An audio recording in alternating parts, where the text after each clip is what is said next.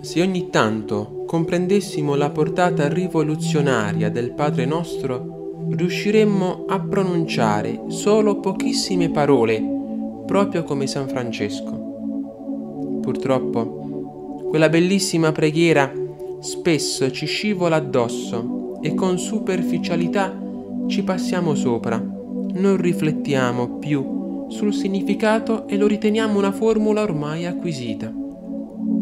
Eppure, dobbiamo renderci conto che nel Padre nostro il protagonista è il cuore, non le parole.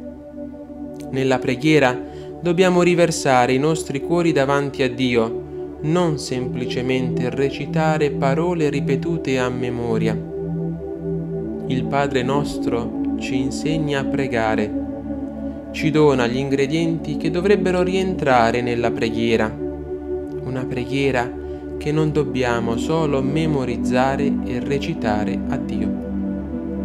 Nella nostra preghiera Dio è assai più interessato al fatto che comunichiamo con Lui, parlandogli dal nostro cuore, che alle parole specifiche che utilizziamo.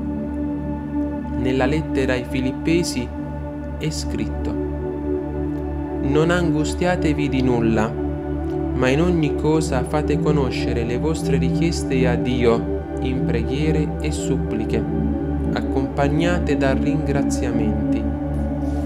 E la pace di Dio, che supera ogni intelligenza, custodirà i vostri cuori e i vostri pensieri in Gesù Cristo.